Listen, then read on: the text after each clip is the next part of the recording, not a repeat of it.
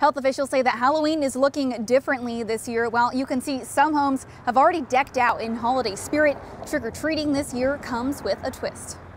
It's the most anticipated dress-up day of the year. And I'm going to be a ghost. Scary signs and spooky faces filling some yards, but knocking on doors and saying, Trick or treat.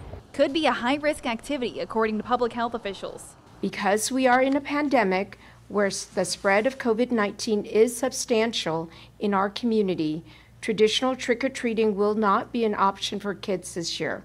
Alternatives to traditional trick or treating are strongly encouraged, like staying home to watch movies and decorating your house, which some have already done. But Angela Franklin says she's willing to let her son go out for Halloween, so he's not disappointed. Personally, I don't have any concerns going door to door. Halloween is for the kids I don't want to take them out and people be like, you know, kind of turning them away. I don't want my kids to feel alienated in any way, shape, or form. Her plan, a bowl outside her home for candy cravers. Down the street from her blown up decorations. I love the motorcycle. Aiden and his grandfather have been waiting for October 31st. This little guy, he loves uh, Halloween, so he goes through the boxes even in the summer times. Goodman is a bit hesitant about people coming to his house for candy, but still wants to make the most of the holiday.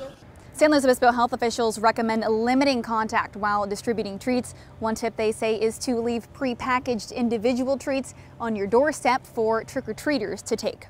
Reporting in Santa Maria, Cindy Brandt, KSBY News.